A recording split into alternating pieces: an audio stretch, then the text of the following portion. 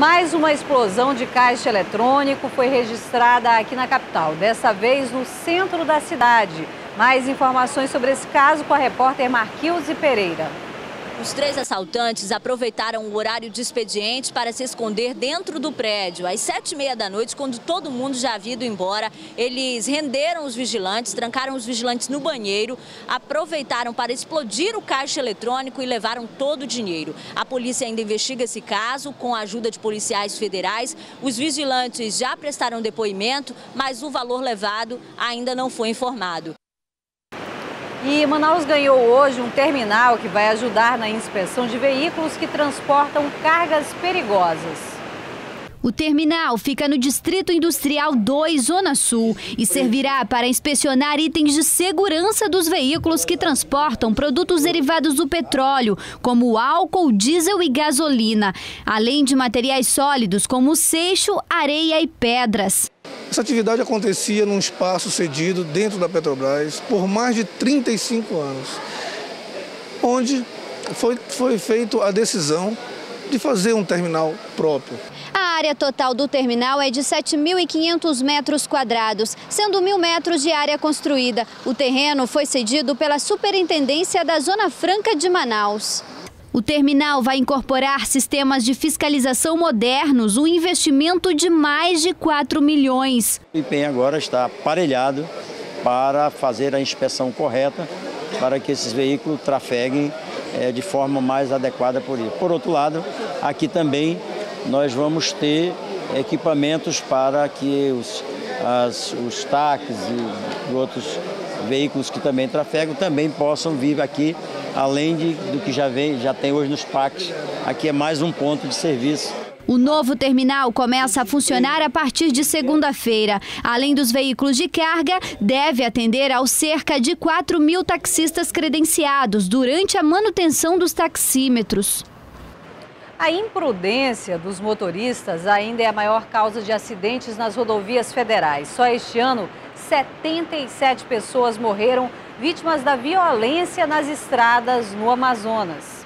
Nas estradas e rodovias, a gravidade dos acidentes assusta. Em agosto, um casal que seguia pela 174 nesta motocicleta morreu depois de bater no ônibus. O rapaz tinha 21 anos e acabado de receber a habilitação provisória. Ela estava sem documento. Em setembro, na rodovia Manuel Urbano, três pessoas morreram e uma ficou gravemente ferida. Depois da batida, em um dos carros, o velocímetro parou em 120 km por hora. Mesmo com tantos acidentes, motoristas ainda cometem irregularidades nas estradas e rodovias. Depois do aumento no número de acidentes nas rodovias de todo o país, o DENIT começou a implantar radares. Aqui na 174 são 11. Neste trecho, por exemplo, a velocidade máxima permitida é de 60 km por hora. E logo ali tem dois radares, um de cada lado da pista. E mesmo assim, assim, muitos motoristas não se sentem intimidados e acabam desobedecendo a regra.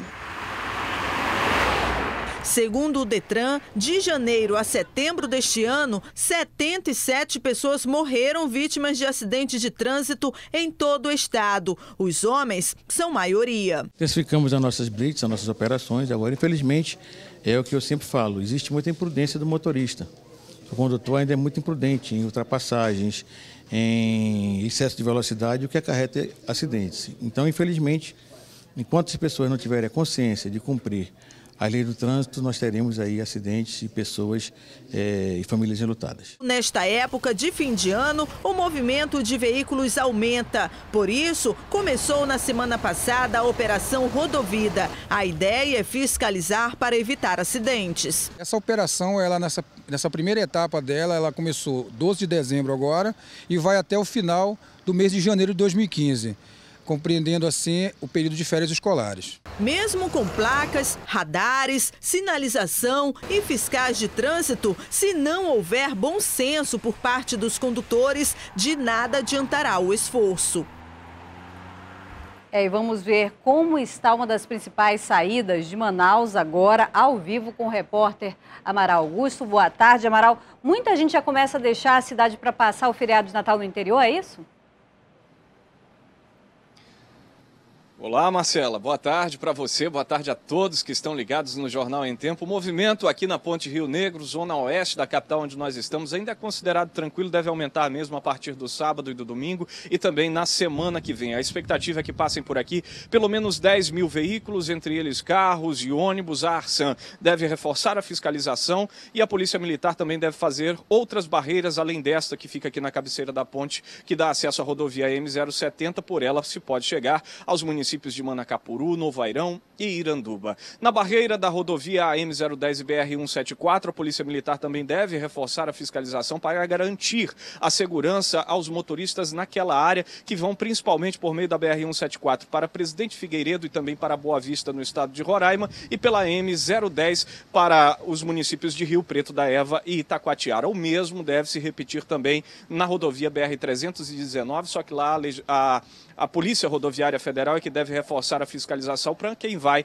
para o Careiro Castanho, Manaquiri e Altazes. Na rodoviária de Manaus, a previsão é que pelo menos mais 130 ônibus sejam colocados à disposição. 50 fiscais devem garantir o cumprimento das normas para esse transporte que é feito ali. No Aeroporto Internacional de Manaus, 300 mil pessoas devem passar pelos setores de embarque e desembarque até o dia 10 de janeiro. Isso representa um crescimento de 10% em relação ao mesmo período do ano passado. A gente torce que neste fim de ano os acidentes reduzam também e que as pessoas aproveitem com mais responsabilidade esse período que é de festas. Marcela. Obrigada, é isso mesmo, Amaral. Bom, depois do intervalo, você vai ver governo tenta financiamento para criar aterros controlados no interior do estado. E ainda, os personagens de desenhos e filmes são cada vez mais inspiração para os pedidos de presentes de Natal. A gente volta já.